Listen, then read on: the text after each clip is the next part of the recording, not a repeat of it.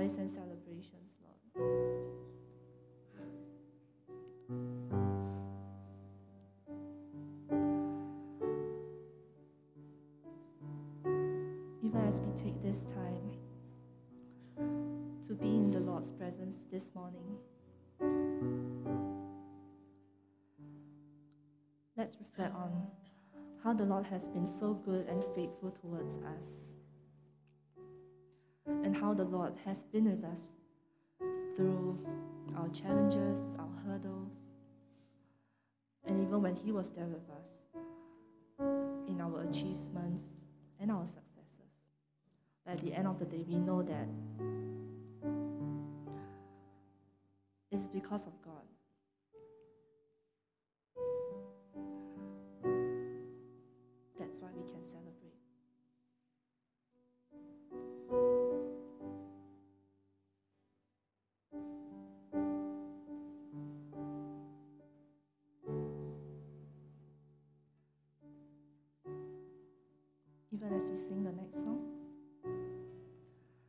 remember on how the Lord has been so good towards us and how He has always been us, been with us, and how He will never ever fail us, and that nothing can come against us or stand between this unique and wonderful relationship that we have with our Lord Jesus Christ.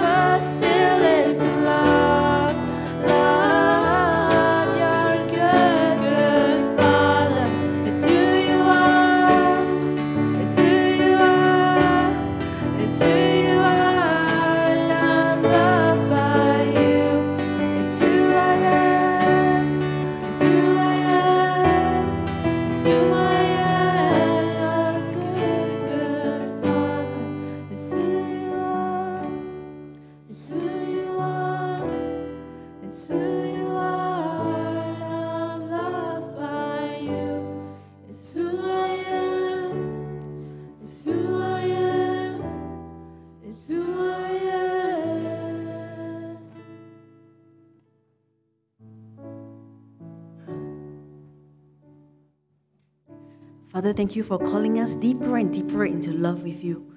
Father, thank you for that we can go deep. That Father, we don't have to stay at the surface. Father, we can just dive deep and go and just go deep. Because Father, when we go deep, Lord Father, there is refuge. We are under the shadow of your wings. But Father, in it, Lord, we find our identity. And Lord Father, even as we sing all these songs about going deep with you, over about how good a Father you are, Lord, we know that there are conflicts in the world. And Father, we know that foremost on everybody's mind is this thing about the Israel Hamas conflict. And Lord, we pray for the humanitarian aid. Father, we pray that there can be pauses. Uh, Father, we know that it's about the day after the day after. And Lord, but God, you are sovereign. And Lord, we uphold the situation to you that, Lord, that there will be peace uh, in the region. But Lord, we don't know what it will look like because, Father, we know your ways are higher than ours. And Father, we don't know how exactly to pray into this, but Lord, we know you're sovereign. And Lord, we pray that you have mercy. And Father, in the midst of this, Father, we also pray that we will not be a church that gets distracted by whatever's in the headline. Father, because sometimes when it's in the headline, first of all, there was Turkey and then all that, and then we will all be praying about it. And then when the Israel conflict comes, then we'll pray about it. But Father, they are, just because they are out of um, out of the headlines does not mean that they are gone. And so, Father, we want to remember what has happened in this last year, the last few months. Father, we were praying for Turkey, Father, for the earthquake. And even though now the earth, the world has moved on, but Lord, let us be the church that keep praying. Father, let us not forget.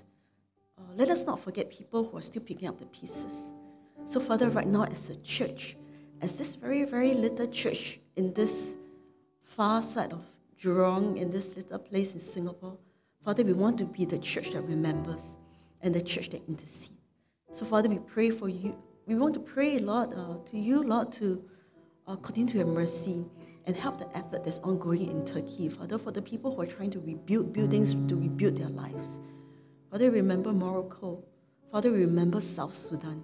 Father, remember all these places. Remember Libya with the flood. Father, remember Bangladesh.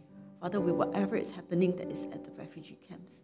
Lord, you know that because of the crisis in the world, the amount of aid going to all these people who are further, further back in history is getting lesser and lesser. And yet, Lord Father, they are very much alive and they are very much struggling.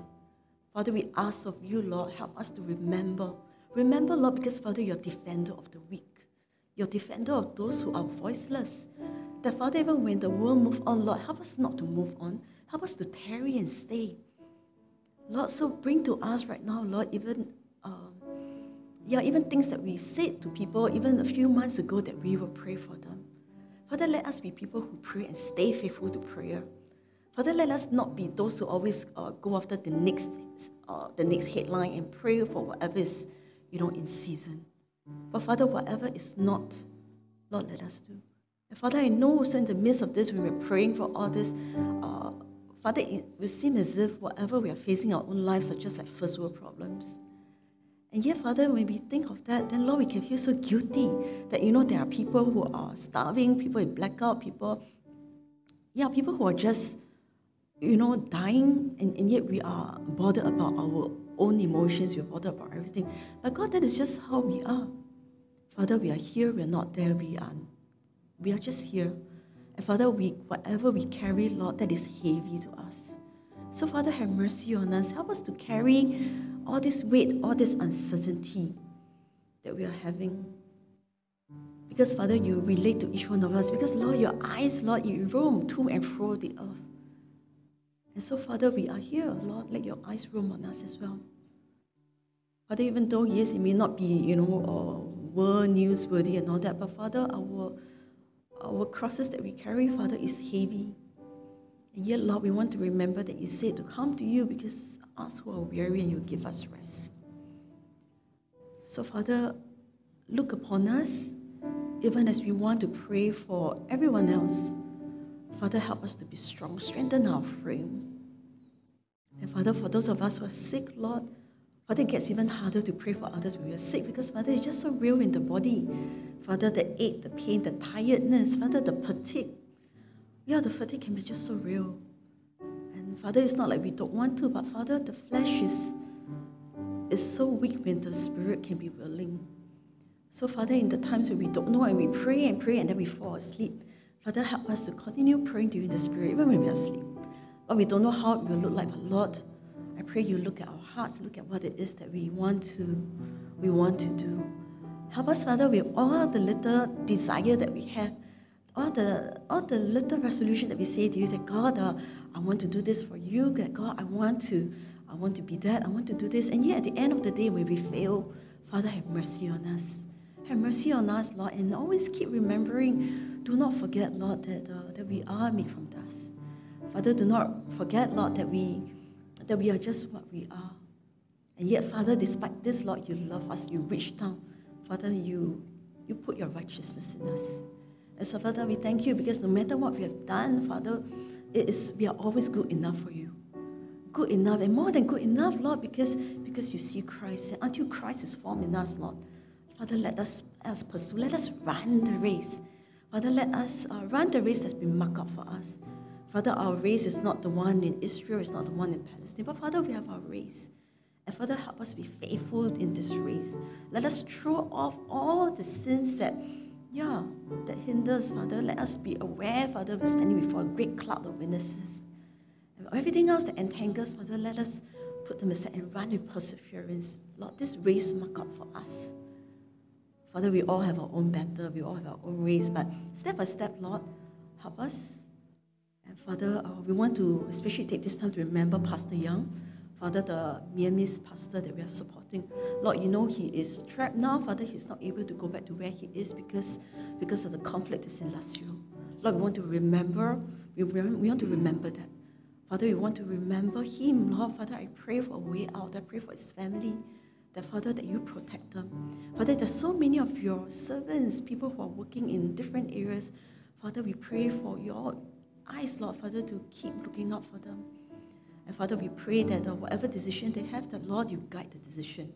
That whether it's to the left, to the right, Lord, they will hear a voice saying, This is the way, walk in it. And that, Father, they will walk in it with such discernment. Father, we pray for wisdom. Father, we pray the spirit of wisdom, power, knowledge, counsel. For, for the power of the Lord, Lord, to just be upon them. Because, Father, the spirit of the Lord come upon them, Lord. So that, Father, they can be mighty in the Lord. And Father, at times when they're discouraged, let them strengthen themselves in you as David did. Father, we uphold them. Father, we uphold people who are struggling. Pray for Agape. Father, we also want to pray for Singapore as well, Lord. Now we have all this thing about going forward that the government has just reviewed. And it sounds very exciting because, wow, there's going to be so many things from education to SkillsFuture, especially those of us who are getting old. Father, there's all this thing like money coming in. And, uh, and Father, it's, it sounds like a like an interesting time because we, we are going into a new 4G chapter, all that. And yet, Father, we pray for execution on the ground. Father, policies can be good, but it's how we carry it out. So, Father, we pray for wisdom for people on the ground, that, Father, we'll be able to, uh, those people who can, Lord, that they'll be able to really be able to know how to put it into action. And, Father, we know we are in a bubble because, Father, we know that our success, Lord, uh, is your blessing, Father, how we are in the midst of where we are. Father, will you continue to to give the leaders the wisdom how to navigate our country. And Father, in all this, for all the leaders in the world, from whether it's MBS or whether is it, uh, yeah, Biden, whether is it, uh, yeah, Netanyahu, you, Lord, we pray, Father, because we know that the king's heart is in your hand. Father, sway it, sway Lord, let the water course. Because above all, you're King of kings, you're Lord of lords. And we thank you. And Father, we want to end this time by praying the Lord's Prayer, uh, which you have taught us, which is our Father, who art in heaven, hallowed be thy name, thy kingdom come, thy will be done on earth as it is in heaven. Give us this day our daily bread, and forgive us our trespasses, as we forgive those who trespass against us.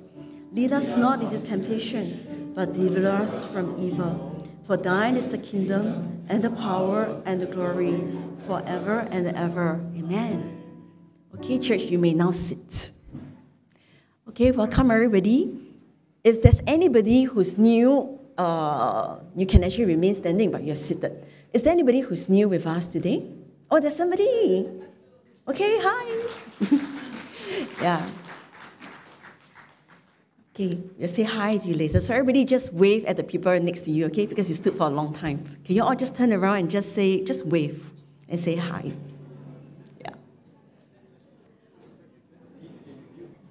Yes, you can say peace be with you. You can say shalom. You can say anything. Okay. Announcement for today. We have uh, three announcements, two of which I will make. Can I have the announcements, please? Yeah, okay. Now, so this one is an exciting thing. Remember last year we had this, those of you who were there, uh, there was this migrant workers outreach. And then for those of you who were not there, it kind of ended with, you know, a lot of people dancing, okay, at the end of it, spontaneously. Now, if you wonder what I'm talking about, why are people dancing at the end of it, please come for this year. Chris, where are you? Is Chris around? Oh, Chris is there, yes. So he's the organizer. Now, so what we're having is this, okay? So we're going to have Christmas party at the Agape, 16th of December. It's going to be on a Saturday evening. Now, if you're free, please come and help us with it because in the party we'll be running games booth. We'll be uh, doing different things. Once you sign up, more details will be given. But those of you who were there last year, I think we really had a good time. Uh, last I heard is unlimited food. So please come. Uh, Christmas is good for unlimited food. And then we also are going to have caroling at Tukan. Tukan is a dormitory, a migrant dormitory we're reaching out to. That's on the 23rd, 23rd December.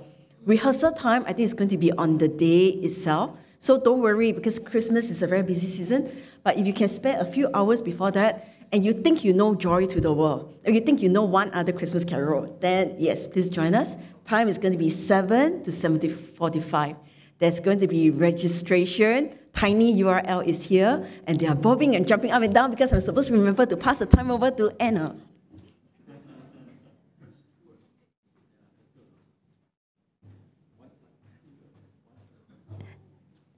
Hello, hello everyone. I'm Anna. In case you didn't know me, how do I?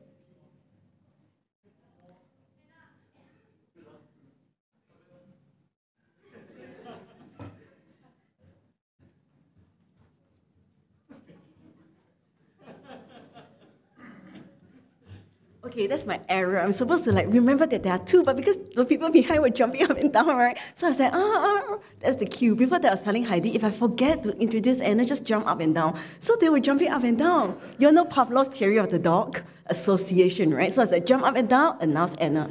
Okay, so anyway, second offering, 12 November. Please remember, I think that's in about one week's time.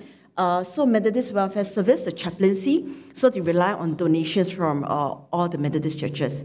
So please jump again. Thank you, Anna.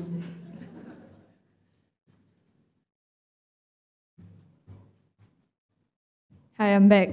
Okay. Hi, everyone. Um, I'm here as a representative of the youth ministry, and we have a very special announcement for you.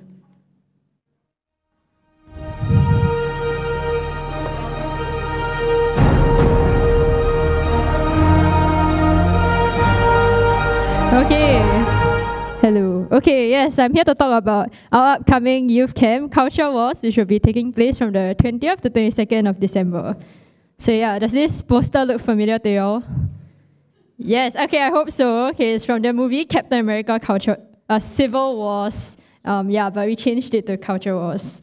And we have um, two teams in the very intense face-off over here, which some of them may look familiar to you. Okay, and any Star Wars fans here? Yes, thank you, Pastor Jason. I was looking at him so he can raise his head. Okay, we have our very own version of, um, well, Darth Vader, Luke Skywalker, um, Chewbacca. Yes, okay. Um, oops. Yeah, so why the fun and cool posters?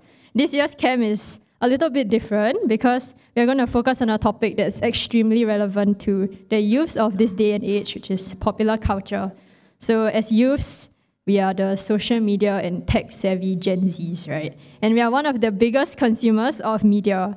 Um, and as Christians, we should also think about how we can be discerning in the media that we consume, which is exactly what we're going to focus on in this year's youth camp. Yeah, we also learn about things like common grace, and how God works in the broader reaches of cultural interaction um, to bestow certain blessings on all people. And because of this, um, we can also come and appreciate certain things within popular culture as well.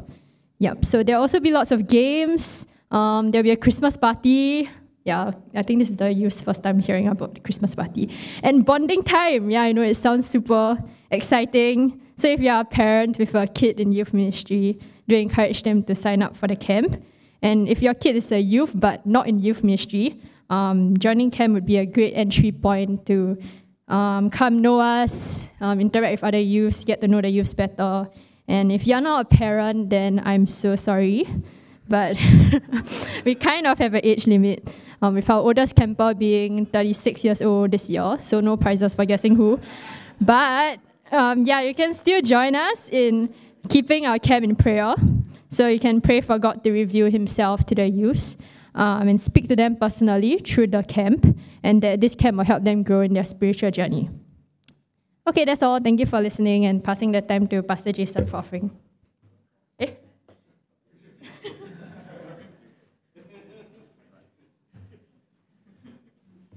We want to praise God for the youth ministry. Actually, there are a lot of things happening there, and we have asked uh, them to actually share with you, especially for the parents, the adults among us, even though you're not parents. But it's good to know what is happening at other ministries so that you don't have an excuse, hey, what's happening? Ah? I don't know, I don't know. But now you know. Okay, and please also, if you're not able to participate or whatsoever, because if you notice, because of someone, the age limit will always go up every year. Right? 36, 37, right? Things like that. Okay, but you can always pray for the youth camp. And there are ways to contribute as well because they need supper. That one we can talk about later on. Okay? But for now, since we are talking about food, we talk about God's provisions and want to continue to worship Him with His tithes and our offerings. Let us go to the Lord in prayer. Lord, in 2 Corinthians chapter 8, verse 9, you say that, For you know the grace of our Lord Jesus Christ, that though he was rich, yet for your sake he became poor, so that by his poverty you might become rich. Indeed, Lord, we are so well off, uh, whether it's material stuff, whether it's not, especially. We are so well off, we are so rich in you because of what you have done on the cross. And so, Lord, even as we give this morning, help us to always remember that we are so dependent upon your grace. We are so dependent upon your provisions and you're watching over us each and every way, each and every day. So, God, we thank you. We pray this in Jesus' name. Amen. You can now come forward or you can use the QR code to give unto the Lord.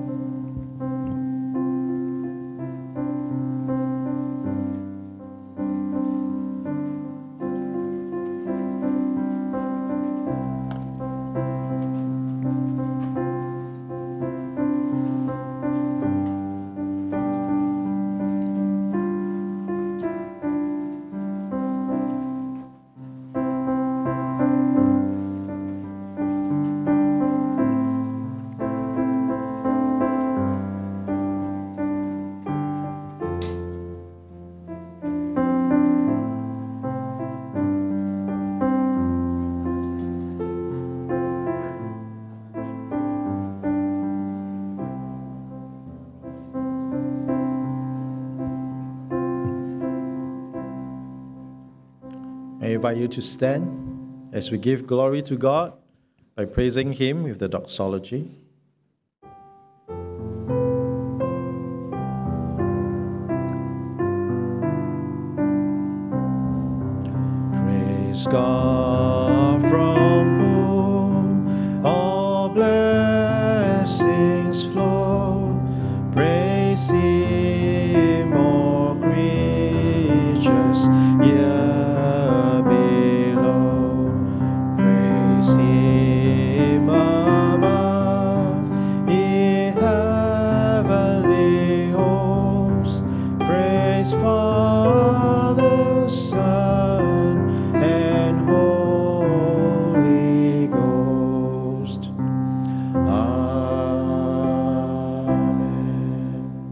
Take your seats. You want to welcome back Tikun for bringing us the word. Let us uh, encourage him, welcome him. Good morning, and thank you, Pastor Jason. Uh, I have not been to a youth camp for the longest time. Somehow, it's not been very inclusive these days for people like me. So I was trying to find a way to slip myself into the culture wars. And perhaps I could call myself senior youth. Right, not long ago, uh, our Prime Minister Lee Hsien Loong coined the phrase uh, young seniors, right? Yeah, so I took some inspiration from there. Yeah, I hope you will welcome me, Anna. You are the younger youth, all right? And the senior youth among us uh, could turn up as well. So this morning we will uh, look at Job chapters 25 and 26. And I must say that as I prepared for this message, I had to uh, reread the book of Job, and it was painful. Yeah, I'm sure it was more painful for the man who was suffering than for myself as I was reading it. And uh, more painful when you have friends, you know, like Bildad, and uh, who needs enemies, right? So this morning we will look at uh, what Bildad is saying in uh, Job chapter 25. Uh, he had actually run out of arguments. He was trying to argue that it can't be that Job was righteous for the circumstances that he was put through. And I think any mortal being who had gone through what Job went through would have given up a lot of stuff, given up hope, given up life. It would have been easier for him to die than to continue in suffering, isn't it? For those of us who are familiar with the book of Job, and even for some of us, turn our backs to God for what He had done to us. If we were suffering in the same measure as Job, I mean, look, Job lost his family, his assets, if you like, his home, and he himself was covered with sores and boys and scabs, as we will read in due course. So, this was a man who, despite what he went through, showed himself to be righteous before God. Let's read uh, together um, the two chapters. The first chapter here in Job 25, only six verses, and later on 14 verses. Right? So let's do this together. Then Bildad the Shuhite uh, replied, Dominion and all belong to God.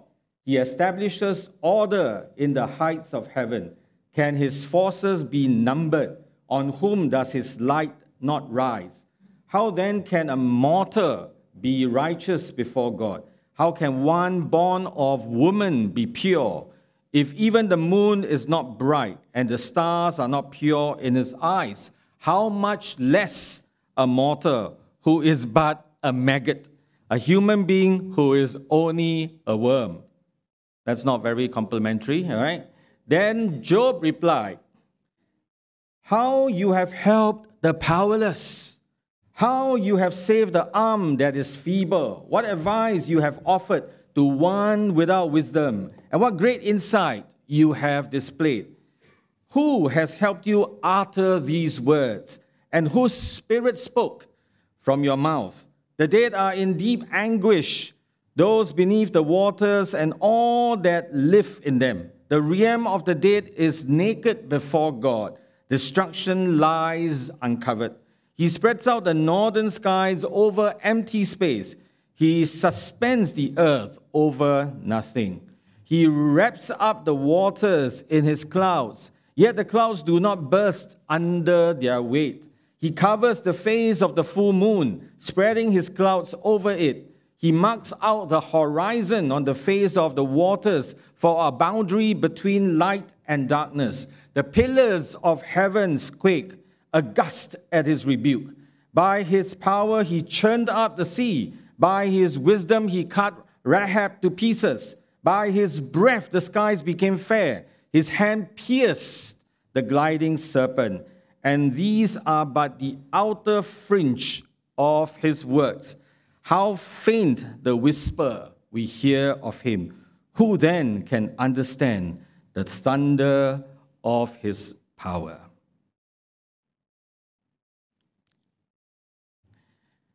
Let's begin with Bildad. In chapter 25, Bildad made some motherhood statements about God. And he spoke for the third time and for the last time. He still couldn't accept Job's declaration of himself as righteous. And furthermore, what I like about the Nelson Study Bible notes on verses 5 and 6 is this Bildad's view of God, of God's dominion and majesty in the heavens, causes him to devalue mortal man as a maggot. So, um, you know, popularly, maggot theology was actually attributed to Bildad. He responds insensitively to Job by suggesting that Job does not need to wait until he dies to be grouped with the maggots. This was very caustic sarcasm because Job was in fact covered with worms. If you were to read Job chapter 7, verse 5, Job himself said, My body is clothed with worms and scabs. My skin is broken and festering. So while Bildad is right in making the point that human beings of themselves are corrupt and impure, are morally unworthy to have anything to do with God, he was wrong in making it seem that humankind is essentially worthless in God's eyes. Because God will later show just how much he values humankind through Jesus Christ actually becoming a human being and suffering for them, and that to rescue even the worst of sinners. Let's not forget for a moment that you and I have been created in the image of God. Uh, no worm is created in that same image. So, Bildad's brief speech here was the last we hear from Job's three friends in the book. In essence, Bildad spoke of the might of God and the utter depravity of men. Now, on the face of it, this is not wholly wrong, of course. God is indeed mighty, his armies are indeed great, and man is indeed impure and mired in sin. And the look, I mean, God looked at the human race and he discovered all of us. And even at the time when he looked down in Genesis, that they were desperately wicked. So there was nothing wrong in particular with what Bildad is saying at the outset. But as you read on, you will sense this unhealthy motivation behind Bildad's words. One senses, first of all, that Bildad is trying simply to win an argument here. So, my friends, theology that is not done in the pursuit of truth and for the furtherance of God's glory on earth becomes a dishonorable subject. One should not slap bumper sticker theology on vain efforts to bolster one, one's own ego. So, what is bumper sticker theology? Have you seen uh, bumper stickers behind the cars? Jesus is the answer. But what is the question? Yeah, so sometimes nah, all these quick fixes or maxims actually are just motherhood statements about God and it can be applied rather insensitively. What is more, Bildad seems to be attempting to shut Job up by pointing to the distance between a holy God and sinful men. Again, God is holy and man is sinful. Yet it does appear that Bildad is appealing to these truths in an effort to tell Job to shut up. And definitely, he's not applying it to himself. He should look at himself and perhaps keep quiet if he has nothing good to say. So, my friends, this is the use of theology as a weapon. Here, Bildad's declaration of God's might, God's omnipotence, was not a proclamation. It was meant to put Job at his place. So that said, there are some problems with Bildad's statement. If you look at verse 6, how much less a mortal, he says, who is a maggot, and a human being who is a worm. Now, this view sounds more Darwinian than biblical, isn't it? It is almost to the extent of blaspheming by speaking against men as a unique creation bearing the image of God. Man is sinful man, but he is man. There is a point past which the doctrine of human depravity is dehumanizing. Man should not be deified, but he must be allowed to be human. Now, in all fairness, uh, there is a sense in which it is also right to call man a worm. Uh, but you must properly understand. Uh. So, John Piper, for example, uh, the preaching pastor, uh, for instance, has spoken with some helpful words to this question Is man a worm? Uh? When he considered the great missionary William Carey's tombstone's inscription uh, this was an inscription that William Carey wrote himself. And, and, and it went like this A wretched, poor, and helpless worm. On thy kind arms I fall. So here is what Piper wrote. I tweeted this morning that I would like to be such a worm. I said, William Carey died today, and he was talking about uh, that day when he tweeted, in 1834. And his epitaph, his tombstone, were these words A wretched, poor, and helpless worm, on thy kind arms I fall. Oh, to be such a worm. Now, not everyone feels proud of being called a worm, eh? let alone aspire to be one, right? Can you imagine, uh, you know, if you are asked an interview, what is your ambition in your walk with God? To be the perfect worm. I don't know how that looks on your spiritual resume.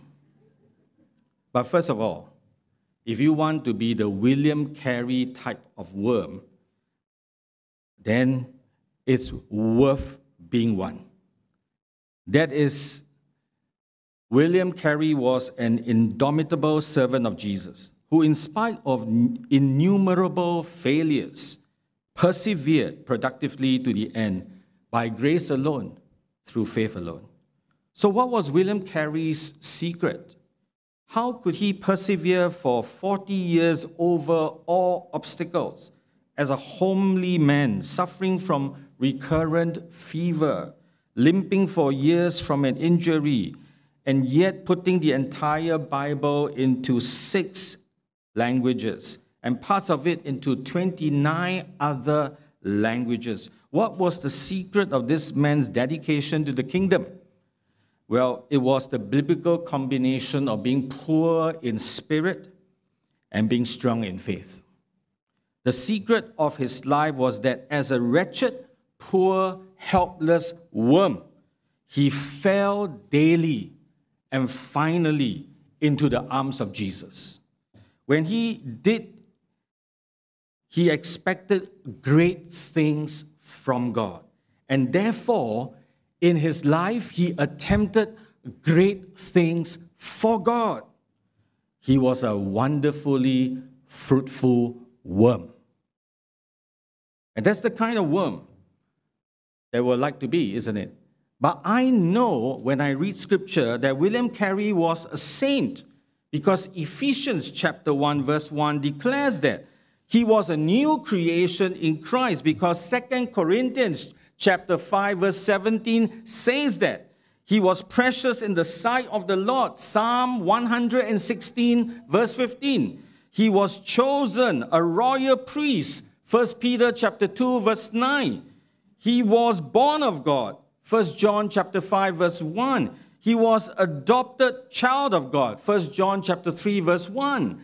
He was forgiven. Ephesians chapter 1 verse 7. He was justified. Romans chapter 5 verse 1. He was perfected. Hebrews 10 verse 14. William Carey was this kind of man. His wormness did not paralyze him. It empowered him because it drove him daily into the arms of Jesus. So I say again, if that's the kind of worm that we're talking about, oh, be such a worm.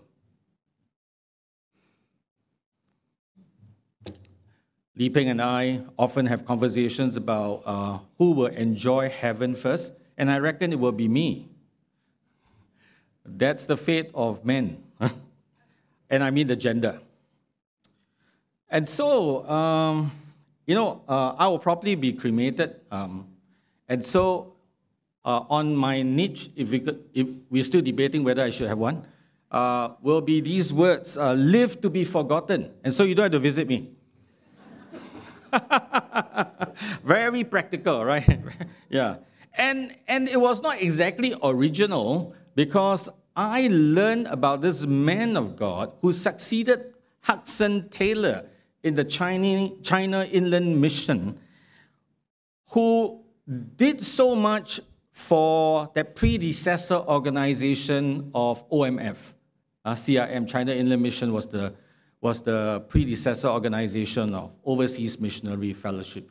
And when he succeeded uh, Hudson Taylor, this man served for 40 years. He was actually the last of the Cambridge Seven.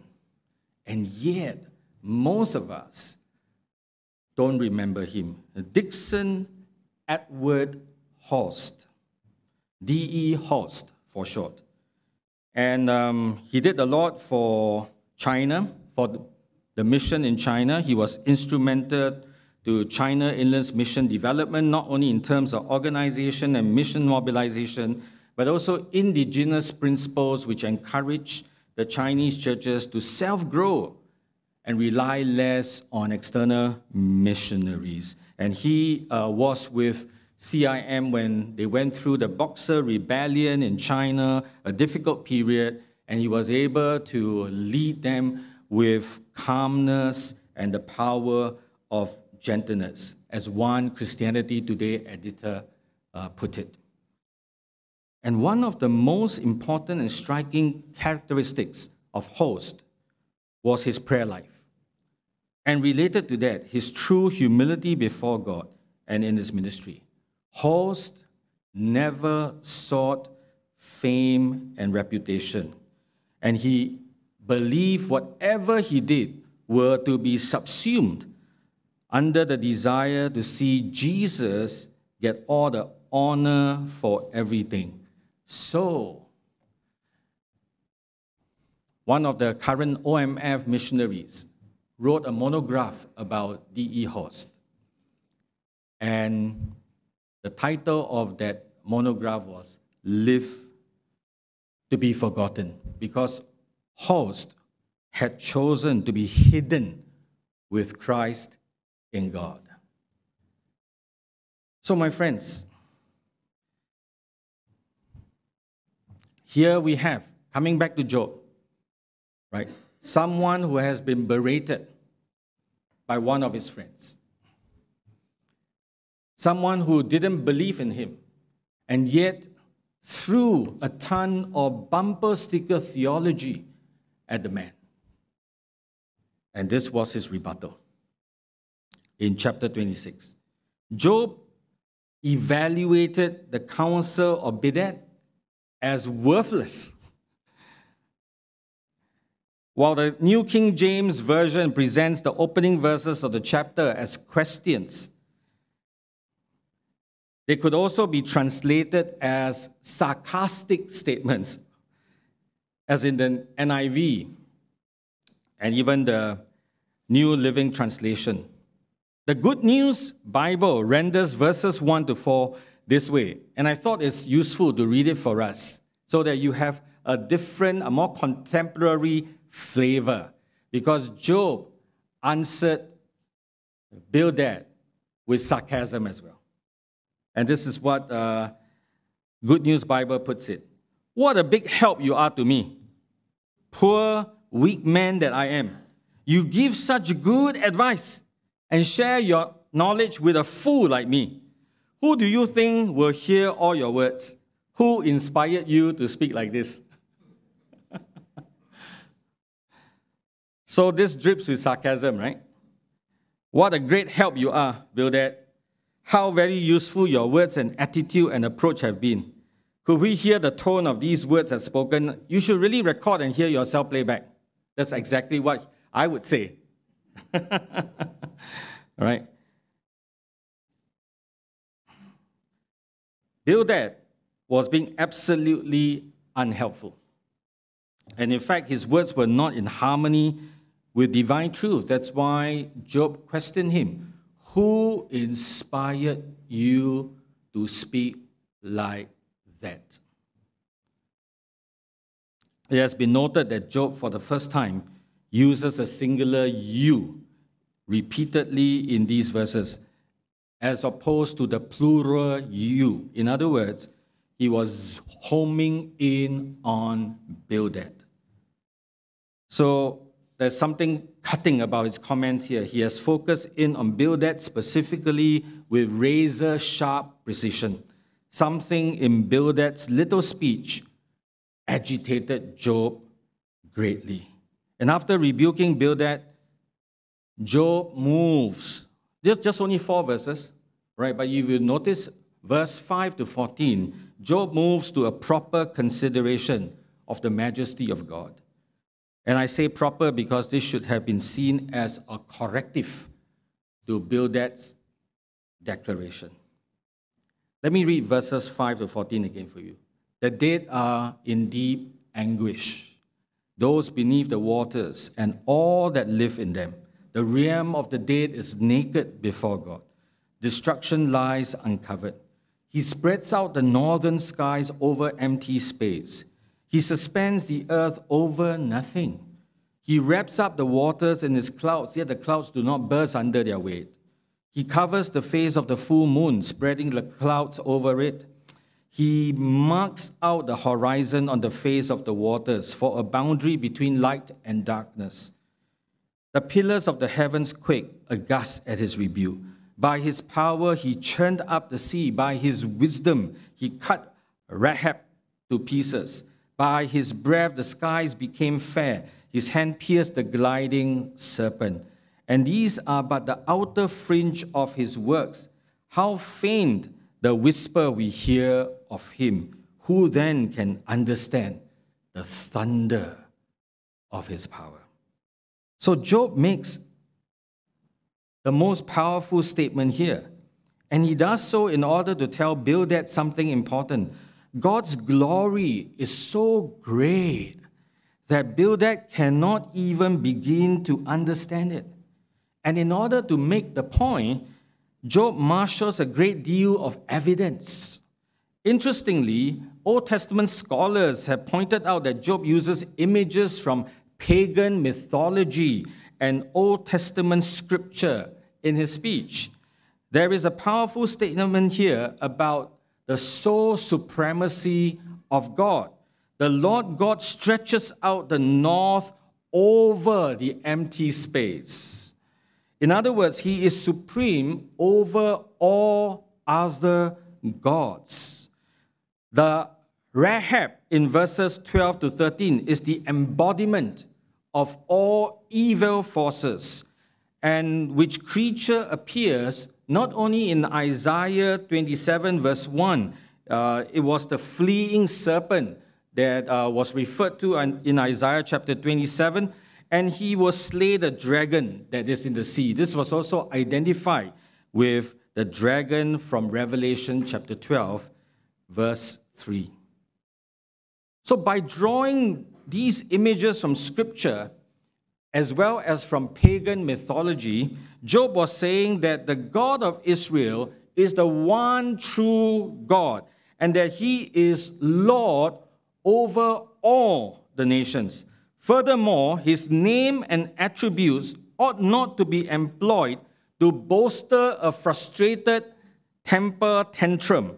This passage is really very intriguing. It is almost as if Job sets aside his central argument, just as Bildad has, in order to rebuild Bildad for his careless use of the name of God. Bildad's theology had become sloppy, emotive, and manipulative. Job, in rebuking Bildad, reminded him of whom he was speaking. So, my friends, there is a lesson for us here. The Bible is not a collection of clobber verses to be strategically employed in your argument of the moment. It is not a holding tank for your own personal and pugilistic bumper stickers, waiting for you to find just the right maxim to shut up your, op- your opponent. It is not used for this kind of warfare. We wrestle not against flesh and blood. Uh, but sometimes we think that by winning the argument, it feels so good for us by demolishing someone else. But that's not what good theology is all about. We are speaking of the God of the universe. We do not honor him by using his name so carelessly, nor do we honor him by insulting his creation, by insulting humankind as a result. Remember of whom you speak. Remember who our great God is. Remember Tremble and rejoice, for he has come to us in Christ Jesus. So, my friends, what can we take away this morning, this afternoon now, as we look at these two chapters in the book of Job? Five lessons to take away. So, the normal three points plus two. Bonus. Firstly, true can be false. What do I mean by that? If you take most of the statements of Job's friends separately, they all sound like good theology, but their application is shallow and insensitive. A little learning is a dangerous thing. Proverbs 26, verse 9 warns us like a thorn bush in a drunkard's hand is a proverb in the mouth of a fool. So let's be very careful about how we use theology. We put a high premium on good theology. And obviously, we need to be uh, good Christians to understand Scripture for what it's worth. But let us be warned it can be made false by the way it is applied. And it can even be destructive in the mouths of fools. So let's drink deep at the fountain of God's truth and let love stand as a watchman at the gate of our mouth. Yeah, so that when we speak God's truth, let us speak it holistically, fully, and for the sake of loving God and one another. So that's the first thing. True can become false if we do not apply it relevantly or uh, even uh, discreetly. Secondly, the evil can prosper. So Job is right. The wicked are spared in the day of calamity. That's what he said in chapter 21, verse 30. It seemed that those who are doing evil were getting away and they were going scot free. But the just and blameless man is a laughing stock. That was what, again, he said in chapter 12, verse 4. Now, therefore, let us not judge one another before the time. We know there will be a day when, when Jesus is back and he will have all of us, the whole world, in fact, account for what they do. And those who suffer most may be the best, may be those who will be crowned uh, with the crown of life, those that will be given white clothes to wear. Where we look at that symbolism in the book of Revelation, those who are righteous before God may be the ones who suffer the most. And those who prosper in their lifetime may be the worst. And eternal punishment is reserved for them. So let's not judge, let's not be envious about the wicked, because the evil can prosper, but the day will come when we will be vindicated. Those who are righteous will be vindicated. Those who stand with the Lord Jesus Christ will be exalted. The third lesson is that when we look at the chaos and madness in this world, when we look at the injustice that prevail, God is in charge. He will always reign. God still reigns over all the affairs of humankind, from the greatest to the smallest. We may think that the whole world is thrown into confusion. We may be confounded by what's going on, but He is the Alpha and Omega. He is the beginning and the end. He knows the end from the beginning. And so, He is in, in charge, He is in control. God still reigns over all. The fourth takeaway this morning, as we look at Job, is wisdom concealed. There is wisdom behind the apparent arbitrary, arbitrariness of the world, but it is hidden from men. It is hidden from us. Let me read for us Job chapter 28, verses 12 to 13 and verse 23. Where shall wisdom be found?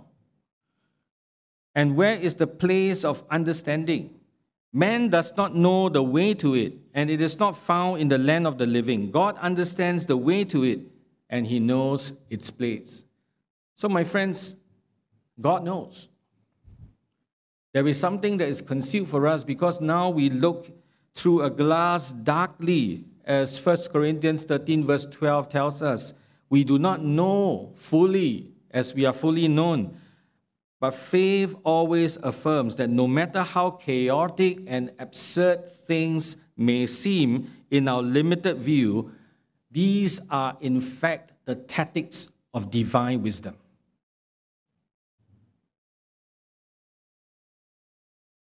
So, as we go through life, we don't know best. Lah. God works in mysterious ways, right? And sometimes we wish He gives us a memo.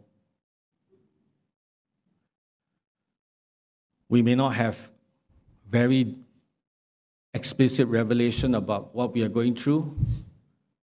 We may not be able to tell what's going to be the end of it all. In fact, we may lack confidence when we see things happen of what it will eventually turn out.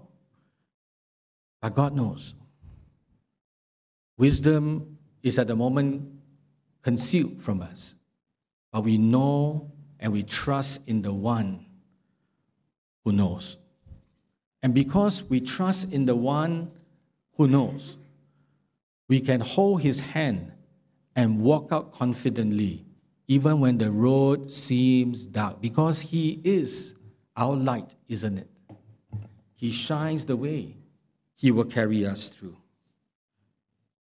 And finally, hold fast to God. Yeah, somehow the D was omitted. I guess uh, you, you run spell check, you won't, catch, you won't catch it because go and God are correct spelling. But yes, on the go, we need to hold fast to God. Right? So, whatever we do, we need to hold fast to God. This is not the time for us to turn our backs to God when things are not going our way. Because we don't know best. He does. And He is a good, good Father. And because He is a good, good Father, if He clothes the lilies of the field, He feeds the birds of the air, how much more will He not care for each one of us? And it is that same confidence, despite what was going on in Job's life, that Job exalted God in his right place. He is far greater than any one of us can imagine. And He will definitely sustain us. He will definitely see us through. He will be there for us because He will never leave us nor forsake us. This is the message I would like to leave with you as we look at uh, Job chapters 25 and 26 this morning. No matter what, sometimes our friends may say, they don't know best.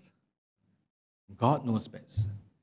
And we need to come back to God and hold fast to Him every moment. Let's pray. Father, we thank you that you watch our coming in and our going out. That, Lord, no one can pluck us out of our Father's hands. That we rest safe and secure in your promises, in your presence, in your protection. So this morning, Lord, once again we come to you, admitting how weak we are, how unfaithful we have been, how distrusting we can become where we see the going doesn't get well. We pray that, Lord, you will come by each one of us and in your fatherly manner whisper your assurance into our ears. Remind us of the scripture that we have learned. Bring us back to where Job was and how he saw you, your greatness, your mysteries, your omnipotence, and yet, God, you are with him even through his moments of despair. He held fast to you. And so this morning, Lord, we pray in the same way we will hold fast to you. Help us not to be discouraged by what others are saying about you, about our relationship with you. Help us to know we can be sure and steadfast in your love, in your promises, in your protection. For we pray all these in Christ's most precious name. Amen.